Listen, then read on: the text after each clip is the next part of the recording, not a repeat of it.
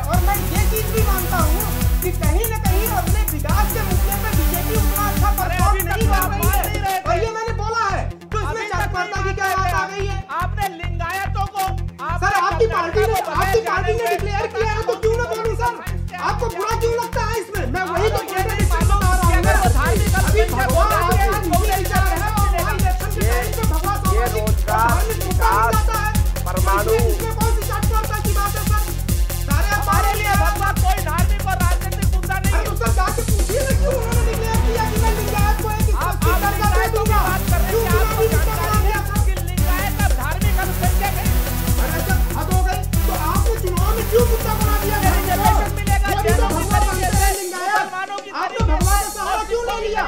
अगर भगवान आपका राजनीतिक विचार नहीं है तो क्यों आप भगवान का सहारा ले रहे हो? लिंगायत भी तो भगवान शिव की पूजा करते हैं भगवान मानते हैं। सर पे उनके भगवान जो है शैतान जो है पगड़ी होती है। भगवान का सहारा आप जैसे कमज़ोर लोग लेते हैं। सर भगवान कभी कमज़ोर नहीं हुआ है। जो कमज़ोर है अगर वो भगवान अपने माथे पे पहन लेते हैं तो वो वीर बन जाते हैं। आप भगवान को कमज़ोर से मत जोड़िए सर।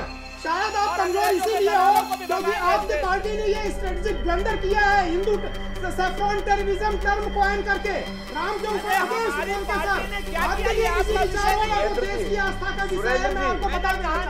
की हमारी पार्टी ने क्या किया? हमारे पास हमारे पास टीका लगवा रहे हो।